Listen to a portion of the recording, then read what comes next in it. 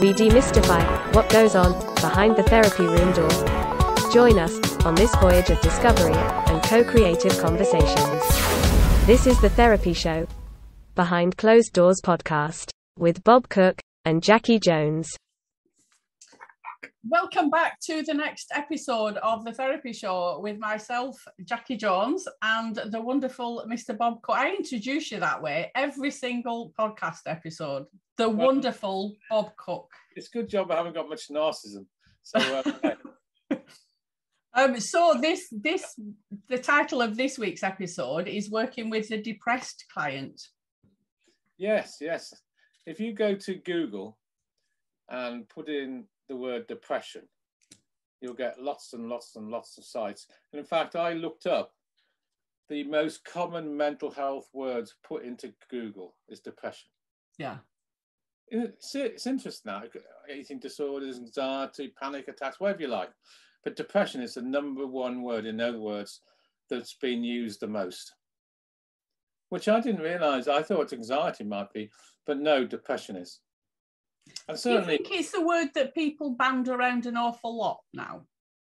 If they're just having a low mood, that they use the term depression. well, I think depression is um, on a continuum Yeah. between what you might just call their low mood um, to, uh, you know, with the people who've got quite a sense of groundedness and they may feel down at that sense, but they're still able to contact themselves in the here and now and take ownership of the mood and perhaps it'll pass to uh, the other end of the continuum, which is right at the other end, is more sort of uh, uh, psychosis, you know, or intense depression, which will stay around and people incapacitate themselves and impairs functioning. Yeah. So that's that level. Yeah. Uh, right, uh, right to what you just said there, the other side of the continuum, which we could call working with the worried well or working with low mood. It's when people have enough adult or here and now functioning abilities to get out of that position quite quickly because they've got a sense of being groundedness all the way up to the um, extreme end of depression, which is really where they may stay in bed for a whole day. Yeah. Yeah. And it impacts on the working life and the social life and family life and everything. Yeah. Yeah. So you are correct. People might use the word depression when they when they may, may mean low mood and feeling down. If I think of the number of clients over the last 38 years that might have come into my practice talking about depression, more of them, it's more towards the middle of that continuum, where it's more than just low mood. It's more, I won't say it's intense depression where you've got you know psychosis, but certainly where the functioning is impaired. yeah. Uh, so I see, I suppose, people more, or I did, in the middle of that continuum. Yeah. What are your thoughts on antidepressants and therapy? Well, you know, you could get a thousand therapists, and I suppose they might say say different things. Um, but I see medication very much as a functional tool.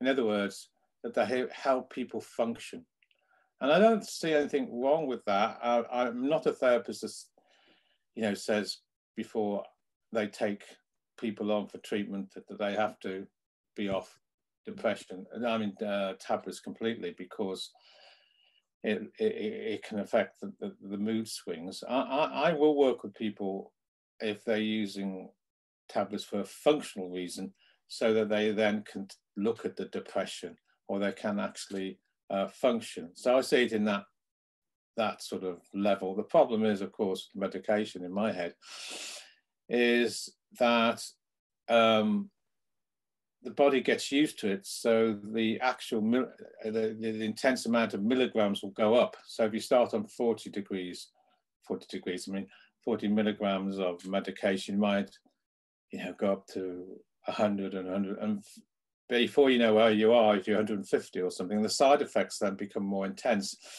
So uh, the important thing is to whether you're taking medication or not is to look what drives the actual depression. Um, but if they're so incapacitated, then I'm okay with them, you know, being on medication so they can function so we can get to perhaps what's underneath it. Yeah. Yeah, I think that's what I say to clients. I'm not pro medication and I'm not anti medication, but sometimes it can just quieten things down enough so that therapy, you know, is like you said, that it's accessible. They can be more in the here and now and, you know, get something from the therapy. Mm. Yeah. Right. Yes, some therapists, of course, that's their, well, they don't take clients on uh, with medication because they would argue that it's uh, more challenging to do psychotherapy when somebody's under the uh, under medication. So depends where you come from, but I see medication more functional. Yeah. Yeah. And you, you know the the other thing that people sometimes talk to me about is that you know getting off the medication they kind of think that it's the medication that's helping them. And as soon as they come off the medication they're going to take a, a massive back step and go back to where they are. That's that's a lot of people's fear around medication. The most important thing with medication is to come off very slowly. Yeah the help of a professional uh, a doctor or mental health professional where they can have a supportive program to come off the medication, you know, um, and it may take three to six months to come off it. Yeah. And then they need to have support, I think, to work at what was originally driving the depression in the first place. Now, I think with depression, it's never just one thing. No, I was just going to say that's that's kind of like I don't know, trying to catch water to work out what it was that started the road of depression. Yeah, I mean, some actually, I never say, I suppose, 100% at a psychological level. So there might be some occasions where the, the person's um, has such a traumatic experience that leads to psychological processes uh, and then leads to depression. But usually it's quite a few things. Yeah that drives the depression. Yeah. Sometimes I see it as kind of like the body resetting itself. Could you say a little bit more about that? Well, some people are, are, really fearful of depression whereas you know maybe one way of looking at it is that it's it's the body just saying it needs time out you, you know to it's different for everybody like you say on that spectrum and whereabouts they are on that spectrum oh. well yeah on the on the lighter side of that spectrum um, i can see the way you're thinking with that it's it's almost like what you're saying it's the um, person's process about withdrawal to cut off from you know the hecticness of the day or yeah. the, the day to cut off which then they might call depression yeah mm. on that side of the continuum as you go along though uh, into the more intense levels of depression where functioning is impaired to a to a high degree i think that is driven in an, from a different process altogether okay say more what what well, if you talk about psychotherapy of depression, especially uh, uh, a more intense level, then there's certain things that need to happen. Happen, um, you know, and it's not about simply looking at coping strategies. Now, coping strategies are fine. I mean, it's really important to talk about coping strategies. That's how people survived. You know, whether, whether it's whether they go walking for five miles, five miles every day, whether it's they go to the gym and intensely work out, whether they use ex exercise, whether they use mindfulness, whatever coping mechanisms. I mean, it's important to talk about those things. However, you know, if it, if that if it still persists, we need to go to a deeper level. So we need to really do a um, what I'm calling an analysis and talk about what's been happening in their past you know, a little bit more about what's been happening under the surface so they can feel understood. So, in other words, the first step really is to listen to their story Yeah. of how they uh, reflect on the causes and the drives, if you like, behind the depression. And nine times out of 10, they will go back to certain times in their history. Yeah. Often, they probably go back to adolescence and talk about teenage years. They may go to, uh, you know, later times in their life when they've had traumas, when they've had loss, when they've been sexually assaulted, or whatever it is. Uh, they may start there, but they often then will go back. And it's very important for the therapist to give the opportunity for the person to talk out what they've often been suppressing for a long time. Because it's the material that's been suppressed that is part of the problem. Okay. Does that make is that clear to you? Is that Yeah. clear? Yeah. That's yeah. why I suppose therapy is often called a talking therapy rather than say a physical therapy, for example. Yeah. You need to talk out. It's a bit like have you ever picked up a honeycomb? Not picked one up. No. Seen one. No, know you know what it is? It has lots of compartments in it. Yeah. Yeah. Yeah. Yeah. Well, when we're talking about depression at the level we're talking about on the right side of the continuum, what an intense depression which interferes with functioning, is usually linked to trauma. Yeah.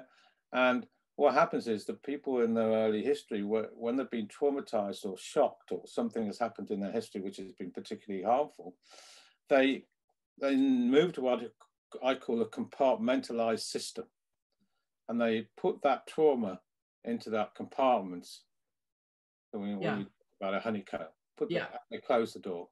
Yeah. But it takes such a lot of energy to keep the door shut. They then feel depressed because they're using up a lot of energy to actually keep that door shut.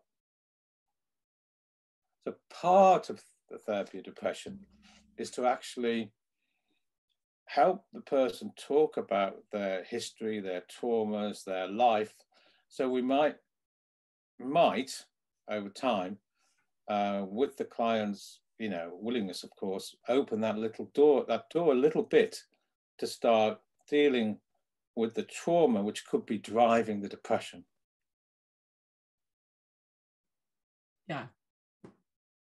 So, first step is to help them understand their story and to, to talk with the therapist so they feel understood perhaps for the first time.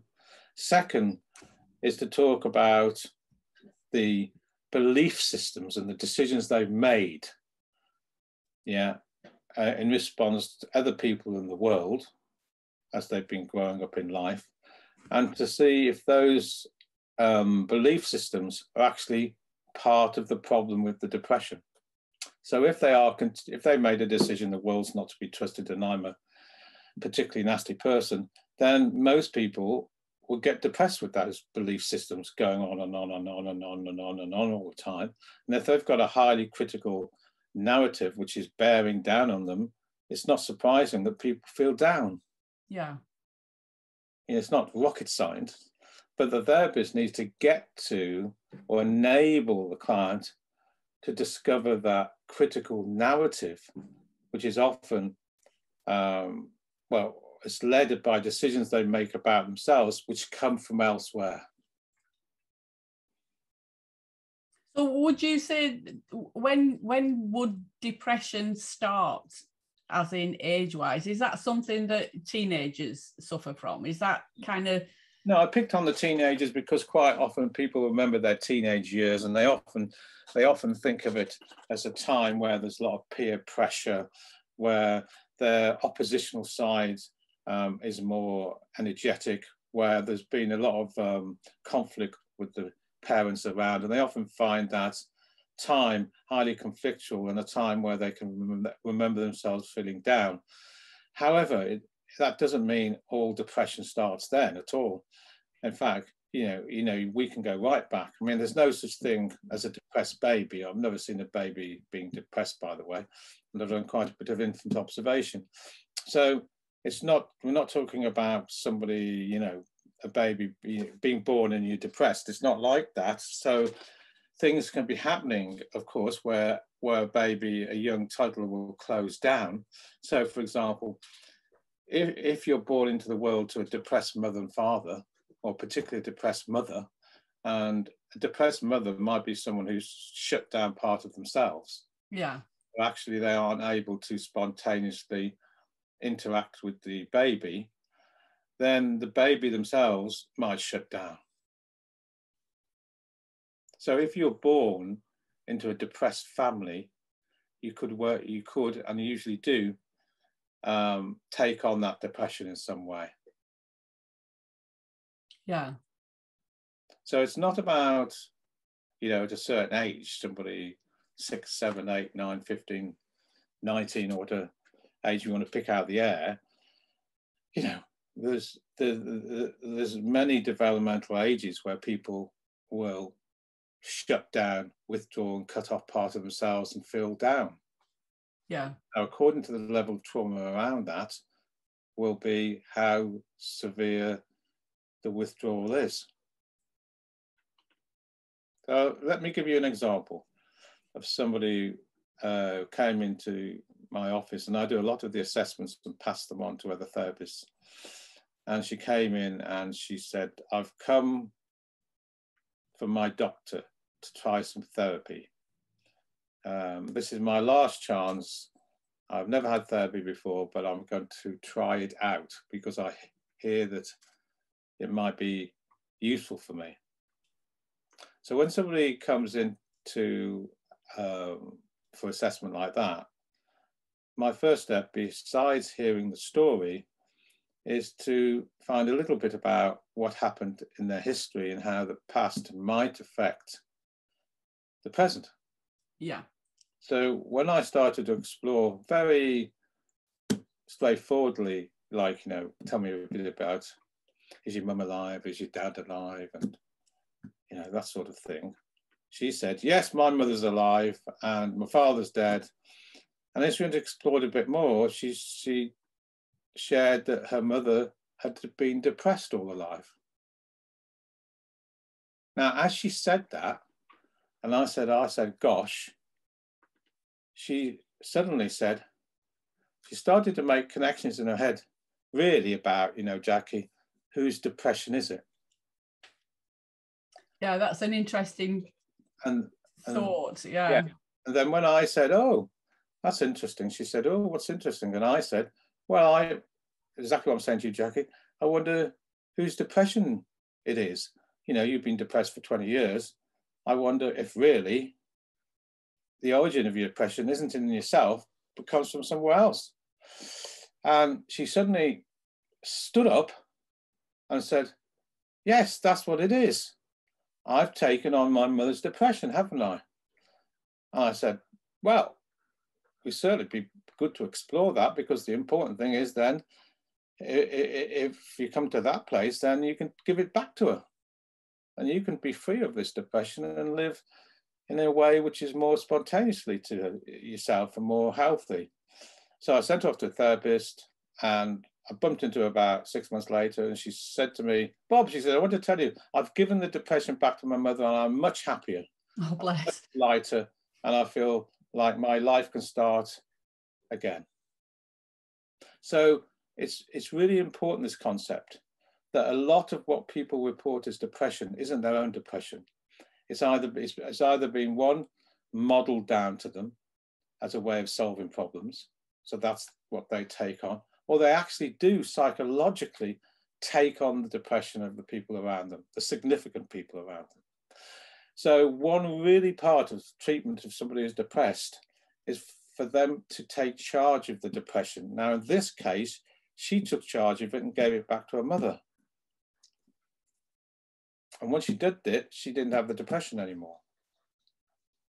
For people listening to this, that might seem like a very easy solution to depression. Well, I think it's not easy because she'd been uh, going to doctors for 15 years. She'd been on Prozac for 18 years. She'd done a lot of things that the doctor had said. She'd been on medication for 10 years. And it wasn't until she did a talking therapy that she started to realize that actually it wasn't her depression, but it took her a long time to get to that point. Oh, yeah, yeah. But uh, sometimes it is just looking at things from a different perspective or a different point of view that yeah, that yeah. one thing can yeah. change everything. That's what i mean by the people listening might think that was a really easy solution. But we oh, get attached to a way of being. It becomes part of our story that i'm this person or that person. This is just how i react to everything. When the reality is that's not who we are. It's it's a story that we've built up around Mm, that's right. And so it's actually really important that the therapist takes some time, which is where I started with this, understanding the story of the person who's coming to the room. Now, of course, yeah. if they come from a place, which I hope most therapists do come from, is that the past affects the present, then it's through an exploration of the past that we can get to these new perspectives. Yeah. So you are right. It's how we get to them, though. Yeah. Uh, right. Again, I wouldn't want the listeners to just think, "Oh, we wake up one morning, go to the therapist, and suddenly we get that new perspective." It doesn't quite work like that. You have to be a at the right time to hear it anyway, and b the therapist needs to have a certain way of thinking, which is I, which is I, well, either way I believe anyway, is that the past affects the present. Once you've come from that place, we can then start thinking, oh, why? How hmm. does the past affect the present? And, and the most important question is, whose depression is it? Yeah. Now, if we look at depression, if we look at the medical, you know, classification around depression, they usually talk about two different types of depression. One is reactive depression, and one is indigenous depression. And reactive depression is what it says, is reacting to the circumstances around you, uh, developmentally or in present day. Indigenous depression is that you were born with it. Now, I see no evidence, by the way, of a depressive genetic gene. So, you know, I know there's, there's plenty of research going on, and depends what research you read. But in my um, readings, that I, on my clinical practice, I've never seen uh, depressed baby. So I don't come from that place of looking and thinking about depression being genetic. So I, did, I think about um, depression in terms of a reactive depression and decisions uh, the person has made developmentally in response to what's happening around them. Or, or they've taken on the depression as a way of solving problems, or they've taken on the depression as a way of relieving the psychological burden from the significant other people.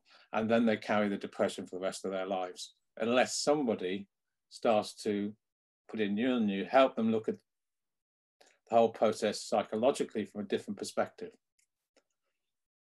Yeah. Yeah. I yeah the indigenous one the the gene or genetics and you know having depressed babies and things that's that's an interesting one. That's kind of nature nurture stuff. Well have you ever seen i know you've worked this area a lot i know you've got children with you i know you talk in this area in your parenting process. Have you ever seen or any observed a baby uh, that's born depressed? Not born depressed no but i think from the moment we're born we start to make certain decisions you know? Yeah that doesn't mean it's genetic it's been passed down or modeled to them. Oh 100% yeah. And it's like you get a baby that cries a lot and you get a baby that cries and nobody comes so it learns to not cry anymore. That's, that's they're not born that way 100% yeah. yeah, yeah. so that's what, I, what I, am dealing with. Uh, and so, so I see the psychotherapy treatment depression at the intense level about looking at how the past affects the present, all things I've just been talking about with you. At the more worried well section, I might just, I'll be looking not only at that, but I'll be looking at coping mechanisms and helping people build in things like mindfulness helping people building things like going to the gym, um, eating well, um, all these sorts of things, and developing different, more healthy coping mechanisms. But even then, I will tend to look at how the past, where it has come from. Yeah. Do you think uh, for, for some depression is a coping mechanism? It's a way of surviving all these things, yes. Yeah. All these psychological processes are a way of surviving um, in the world they live in. And we live in a very stressful world. And you started off the podcast in an interesting way, really, which is, you know, could we be in a position where, um, as adults, it doesn't have to be, you know, with 10, 12, 15, whatever it is, we may want to switch off part of ourselves because the stimulus from the world is so demanding. Yeah. Is that called depression? Well, it may appear like that because somebody might um, incapacitate themselves, or they may have problems in concentration, or they may switch part of themselves off, or they may appear listless, or they might even have what was called you know, awakening depression, where they wake up early in the morning. So it may appear like that, but it, is it is it at this level a conscious decision to shut down part of themselves because a stimulus from the world is so um, hectic it's an interesting one, but it certainly lives in the area of the worried well. That that it doesn't live in the area of what I will call the intense depression. No, is I think much more trauma based. Yeah, and depression is often linked with other issues as well. It, it you know it's sometimes it's seen as a side effect of of other things. You know if like you say if there's a trauma or you know a grieving process then depression can also be part of something else yeah i, I think psychotherapy treatment depression you have to look at the developmental history of the person in front of you and help them explore that because it may well be part of something else you're correct yeah now, um, depression in its, you know, in its simplest form is we depress part of ourselves energetically. In other words, we withdraw and cut part of ourselves off and we deprive ourselves of energy to actually spontaneously react to the world around us.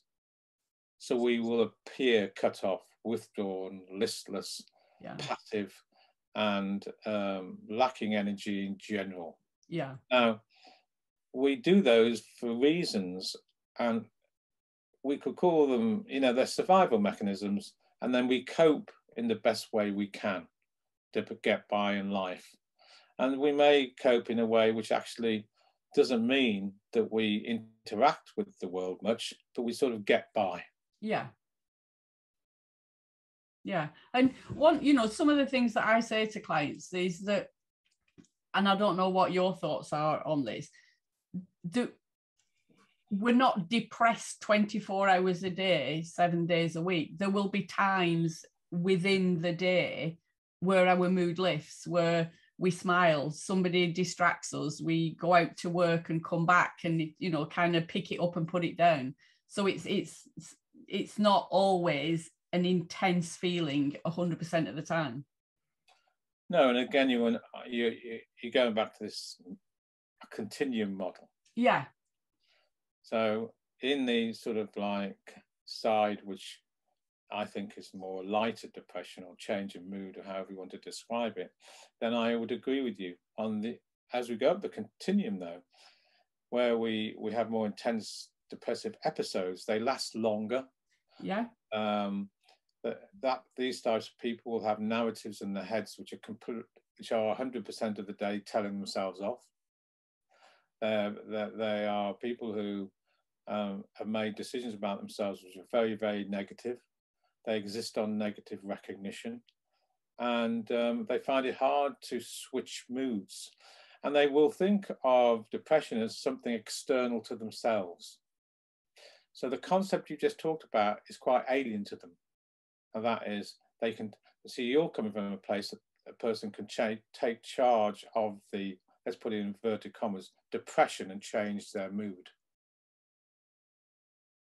mm, yeah to, to a certain extent but not that it's a conscious thing that it it happens anyway? Um, well, then now into the realms of unconsciousness and consciousness. Yeah, um, yeah, hundred percent. And I think if somebody smiles at you, I'll give you an example of something. In the cafe across the road, which you you probably weren't, I think, training before. I think that cafe had actually disappeared, but it was a it was a cafe I used to go in a lot. And on a Thursday, um, I realised that there was quite a lot of people just sitting there, rocking backwards and forwards, drinking their cups of tea, and actually they were depressed. And what they were depressed, they were people who would come in and they, they were waiting for their their money from social services because next door above the cafe was was where they used to go and signed off for the dole every Thursday. And the times that I sat down with some of these, we'll call them depressed at the moment, depressed people, low energy, and all things we're talking about here. When I walked away from them, I felt depressed myself. Yeah. Because if you ever sit with somebody who's depressed, you will probably feel bad about yourself when you walk away. Because part of the psychological process for somebody who's depressed is to project out to you their depression so they don't feel so bad does someone who's depressed think about that in that way? I think it's probably an unconscious process around projection they will do. So if somebody smiles with somebody who's depressed, I agree with you, they may smile better and they may have a shift of mood. I don't know. They may adapt socially and feel slightly better because they've had somebody smile for them in the day. So at one level, I think you're correct, but is it is it actually a decision. I, I, think I think see I think for somebody who's depressed, they need to really understand that if they think of controlling that, that they can control the depression themselves rather than seeing it as an external process, then they're able to move towards changing their mood. If they always give up control to an external body, which is they, this dark depression that comes over them, that they will always stay depressed. Interesting. Yeah. So at one level, I agree agree with you that that if you smile, if you smile with people, so for example, you go like I've just said in that cafe, smile to somebody who's depressed, they may or may not smile, but and who's to know? That smile might mean they feel uh, they have some relief from the internal critics in their head, so they're able to lift their mood. But do they think about it that way? I doubt it. I think it's like an unconscious phenomenon, which if you talk to them, they just say, oh, I just felt better because June or Bob smiled at me. But they don't, I don't think they think about in terms of taking ownership of the depression. And as a psychotherapist, I think the number one position is to help the person move to a place where they can think about the depression in terms of that they're in control of the depression. And once they get to that place, then they don't have to stay with the depression anymore. Yeah, I get what you're saying about the external environment that causes or lifts it. Mm. mm. Yeah, yeah. So, so go back to that example I gave you. Once that person had realised that depression wasn't hers, and she could take ownership of the depression and give it back to the external frame of reference, she felt a thousand times better. Yeah. Yeah. It's it, it the, all the psychological stuff is very interesting, and it all depends which side of the fence you're sitting on and, and your own belief system to a certain extent. Well, if you if you are a psychotherapist coming from a psychodynamic viewpoint like I do, that that means the past affects the present. Hundred percent. Yeah. With depression, you will explore the past. Yeah. And by exploring the past, you will get to the belief systems that the person has about themselves and the others. And if you can help them change those belief systems and take responsibility for the depression, you can help the person uh, change their mood. Yeah, yeah, and the the only place really that you know a lot of us spend very little time in is in the present. When you were saying about using mindfulness and things, a lot of our suffering is either in the past or trying to predict the future. That's why when you start to help somebody understand these links and change these things, you need to then help them change their quite often destructive or put another way, unhealthy coping mechanisms, even though they pick those coping mechanisms to help them get by, understand that, but they're usually out of date. So you need to help them do mindfulness, eat properly, go walk, do exercise, take time out. You need to help them integrate these new helping mechanisms because otherwise, you know, they'll just revert, revert back to what was unhealthy. Yeah. Mindfulness is a really good grounding exercise, I think, to help people take stock in this world. I love mindfulness. Mm, mm. Yeah. And walking is another one. So these healthy but the healthy coping mechanisms we, we need to um, certainly encourage. However, until you get to what's driving the depression, it's only half the story. Yeah, yeah, yeah. And it can be hard work if you're putting all the coping mechanisms in and not looking at what's underneath it and what's driving it. Then it's it's hard work because you're just doing lots of stuff and not actually looking at the reasons why and where it comes from. Yeah. Yeah. So that's why talking therapy and a therapist that thinks the way I've just said can help a person cure in inverted commas depression. Yeah. Wonderful. Is there anything else on depression that you wanted to say? No, except for that um, I really like anyone listening to this to think about uh, people who are depressed, they feel powerless they, they feel passive, they feel lacking in self esteem, they feel lacking in confidence, and they usually believe the depression is like a black shadow that comes over them. The therapist's duty is to help the client reverse that whole process. Yeah. So they can take control of this depression themselves and are part of the relational process and change. Yeah. Yeah. And i think that's really important that they are part of the change. Like you said that it's you know it, it's not an external thing. It doesn't just happen to them. Once they st- take control of it oh. and and yeah i think that's really important so those are my last words on depression Jacci yes definitely so it's about reversing the process. Yes, but they have to get to a place where they take responsibility and ownership of that. And they can only do that if they understand how the past has driven their internal processes.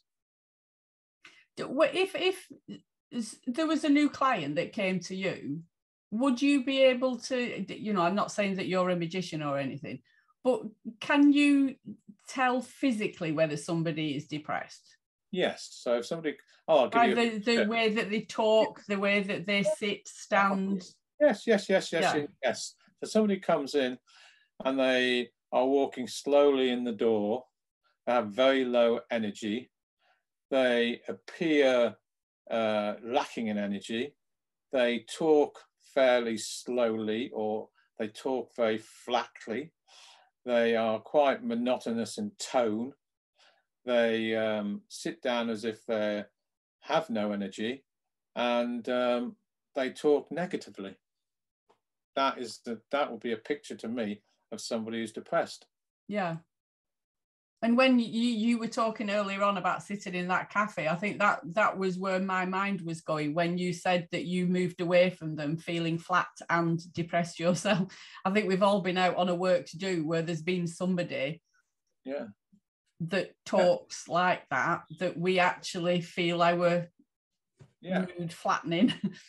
That's right and they will and that's not that's not that's not sort of like um, a conscious decision by the other person. No it's an unconscious uh, desire to get rid of those feelings so they project it onto somebody else like osmosis. Yeah. Does does rapport kind of come into that? You know when we talk about getting rapport with a client and moving at the client's speed and things like that does that come into it? Because i know not talking about a depressed client but if if there's an anxious client or somebody that's kind of in the hurry up driver, I can feel myself speeding up to to match their pace. Yeah, so you need to slow down, but Yeah. we'll get to anxiety in a minute. If we're in depression, somebody who's going to be withdrawn, somebody who's lacking spontaneity, somebody who's passive, all the things I just described. Now, I'm not saying as a therapist you go to that place yourself, but you need to, I believe, slow down, be quite, uh, give the person a long time to explain things, to reflect things, to talk about how the past affects the present. So you slow down the therapy, especially at the beginning, to get some um, aspect of rapport, pacing, or whatever language you talk about here. It doesn't mean you go to a depressed place yourself. It means that energetically, there's some clinical thinking about matching them at an energetic level. Yeah, yeah. I was thinking the opposite, really. You you know whether they would pick up from the external energy that would bring them up. You know, would you switch up the therapy No. in the room to to do No. behavioural stuff rather than thinking stuff? No. Okay. I'll tell you why, because often they will feel patronized. Okay. They'll feel out of sync with you. And they might, and the worst is they might feel patronized and, uh, and you'll just lose lose the relationship altogether. Okay. There's a medium way. I'm not saying you go right to the side, but I'm not actually saying you, you match their hopeless position. Uh, I'm not saying that, but you find a way to come alongside them, not mainly in that depressed place, but certainly not the other place which you were talking about. Finding a way where you can at least give them the person in front of you time to explore their, hopelessness, to explore their lack of self-esteem, to explore how they feel like they want to kill themselves every day, or to explore, to have the space to do that. Uh, and, and the problem with going to the other place that you actually can destroy that space in a moment. Interesting. The wo- worst thing you can do with somebody who's depressed is go what you said. I know where you were coming from that. So, because you see, the other person on the end, other end of it, A can feel patronized, and more than that, they can feel that the therapist just doesn't understand them. They don't understand how serious, how this is a life and death process. This isn't just to be frivolous with. So the therapist's attempt for a clinical process, which is what I, I think you were coming from, can be vastly misunderstood if you go to another place, in my opinion. Yeah. Interesting. Yes, it's an interesting subject, and it's something I could talk. We should have a podcast one and two on it, but I'm quite happy to stop here. Brilliant. Okie dokie. Until the next time, Bob. Thank you so much. Yeah, thank you. Bye.